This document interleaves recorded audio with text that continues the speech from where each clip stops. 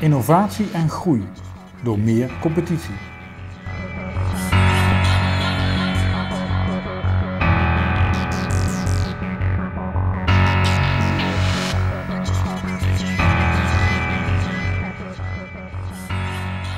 Businessplan competities voor beginnende bedrijfjes leveren interessante partnerships op tussen starters en sponsors van die competities.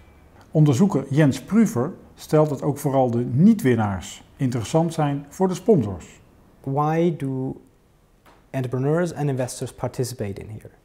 Uh, on the entrepreneur side, I think this is rather easy because if they win, they get some money, but in particular, they get reputation. They get exposure to venture capitalists, and all the people who could uh, theoretically invest in their company will learn that they are just great.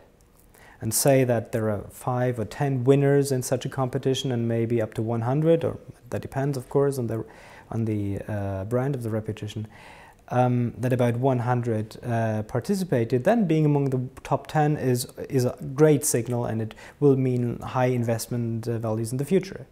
But the interesting question is why do private companies such as venture capitalists and other companies sponsor these, uh, these business plan competitions? Because actually it's not the government usually that funds it, but it's private companies. And the answer is, and that's what my research finds, that if you sponsor such a competition, it gives you access, it gives you inside information to all the participants, to all entrepreneurs, including the losers, right? So you get inside information about the values and the structures uh, uh, of, the, of the winners, and you basically give, the, give away this inside information, where one could think at first sight, isn't that a bit stupid? But no, it's not. As a sponsor, you need to do to publicize winners in order to attract uh, in order to attract entrepreneurs to participate in this competition in the first place. But then what you want to have as sponsor is to keep the inside information about the losers. And why is that interesting?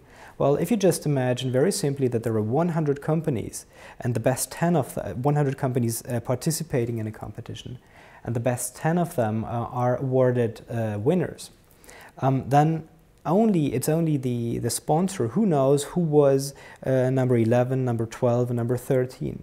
All the other investors, all the other venture capitalists, and, and so they only know that, well, this company was a loser. So that, that company ranks somewhere between 11 and 100.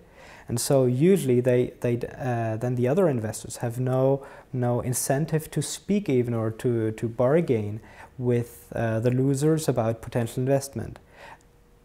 A sponsor, however, can do that. And a sponsor knows exactly that this is still a pretty good company, call it a second tier company. And, uh, and so because of the fact that they have something like a monopoly here, because of their inside information, they can strike a pretty good deal and invest into this number 11, number 12 company for pretty modest rates. This is what, is what makes it worthwhile for them. Heb je nog aanbevelingen voor de overheid?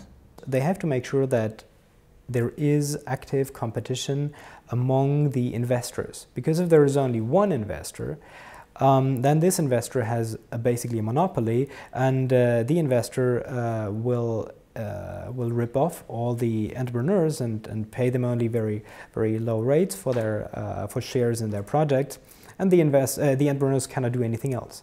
However, the entrepreneurs are not stupid, so they, they might foresee that, and consequently, they do not invest uh, into their ideas in the first place. And this is basically just a way to bury ideas in the minds of intelligent people. Right? That's not what we want. So we want competition among investors such that it makes sense for the investors to, to set up these uh, semi-public competitions and such that it makes sense for the entrepreneurs to, to develop their ideas into projects, which is good for innovation and growth.